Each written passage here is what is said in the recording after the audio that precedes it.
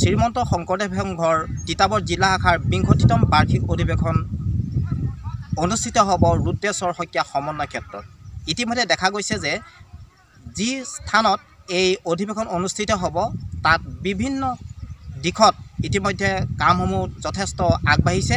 আমি আজি আপোনালোকক দেখুৱাবলৈ লৈছোঁ সবিশেষ য'ত তেওঁলোকে বিভিন্নজনে বিভিন্ন কাম কৰি আছে কেনেদৰে কি কৰিছে আমি বিষয়ববীয়াৰ সৈতেও কথা পাতিম। আমি সমূহ দৃশ্যাংশ দেখুৱাবলৈ লৈছোঁ।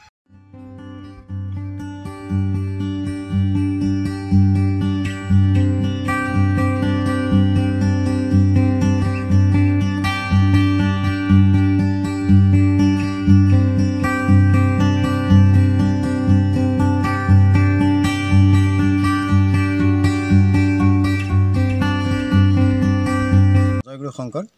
শ্ৰীমন্ত শংকৰদেৱ সংঘ তিতাবৰ জিলা শাখাৰ বিংশতিতম বাৰ্ষিক অধিৱেশন ভাগি এইবাৰ তিতাবৰ আঞ্চলিক শাখাই উদযাপনৰ অৰ্থে আমন্ত্ৰণ কৰি আনিছে।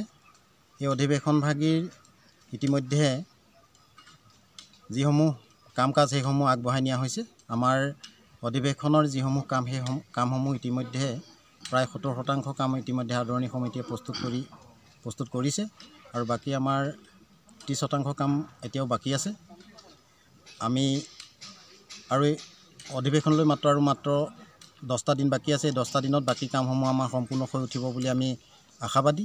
আমাৰ ইতিমধ্যে আপোনাৰভাৱে সকলোৱে দেখিছে যে ইতিমধ্যে আমাৰ আঞ্চলিক শাখাৰ তথা আদৰণি সমিতিৰ কৰ্মকৰ্তাসকলে অধিৱেশনস্থলীত কৰিবলগীয়া কামসমূহ তেখেতসকলে নিজ নিজ কামসমূহ কৰি গৈছে। আমাৰ আই মাতৃ শাখাসমূহেও অতিথি আপ্যায়নত যিসমূহ তেখেতসকলৰ কৰণীয় সেইসমূহ কৰিবৰ বাবে আজি তেখেতসকলেও এখনি সভা অনুষ্ঠিত কৰি অতিথি আপ্যায়নত তেখেতসকলৰ কৰণীয় কৰি কথাসমূহ আলোচনা কৰিছে। আৰু বাকী আমি বাৰ্ষিক অধিৱেশনৰ আমাৰ প্ৰায় দহ লাখ টকাৰ বাজেটেৰে আমি অধিৱেশন ভাগি উদযাপন কৰিবৰ বাবে আমি আগবাঢ়িছোঁ।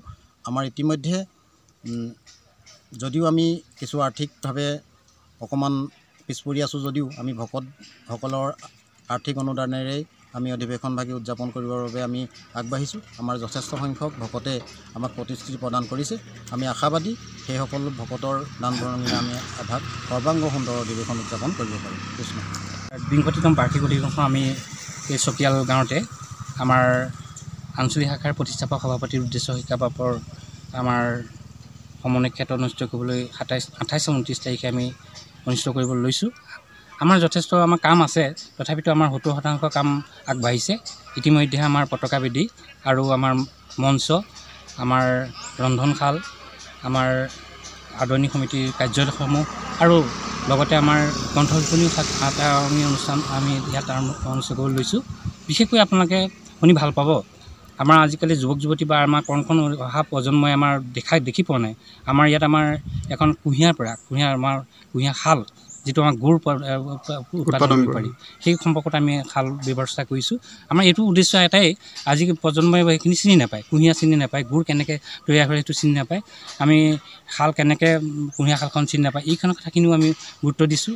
তেখেতসকলক যেনে মনত ৰাখিবৰ কাৰণে আমি এখন কুঁহিয়াৰ শাল হ'ব তাত গুড় উৎপাদন হ'ব। লগতে এখন আমাৰ বুক ষ্টল থাকিব।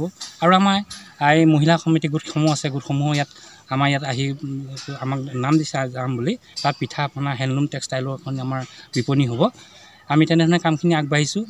আমি অতিথিসকলক আমি শুশ্ৰূষা কৰিবলৈ আমাৰ ভকত বৈষ্ণৱসকল আইসকল আমাৰ ৰৈ আছে যাতে দূৰ দূৰণিৰ পৰা যিসকল ভকত বৈষ্ণৱ আইসকল আহিব আমি যেনে সুন্দৰভাৱে অতিথি ৰূপায়ণ কৰিব পাৰোঁ তেখেতসকলে খুব আগ্ৰহে চাই আছে। আমি সকলোকে নিমন্ত্ৰণ জনাইছোঁ আৰু এই মুহূৰ্ততে আপোনালোকৰ আমাৰ দূৰদৰ্শন চেনেলৰ পৰাও আমি আহ্বান জনাইছোঁ যাতে সকলো আহি আঠাইছ ঊনত্ৰিছ তাৰিখে আহি আমাৰ ইয়াত আহে আহক। আমাৰ এই সভা সমিতি কথাবিলাক শুনক আৰু আমাৰ আতিথ্য গ্ৰহণ কৰিবলৈ আমি সকলোকে আহ্বান জনাইছোঁ আৰু সেৱা জনাইছোঁ অনুৰোধ জনাইছোঁ।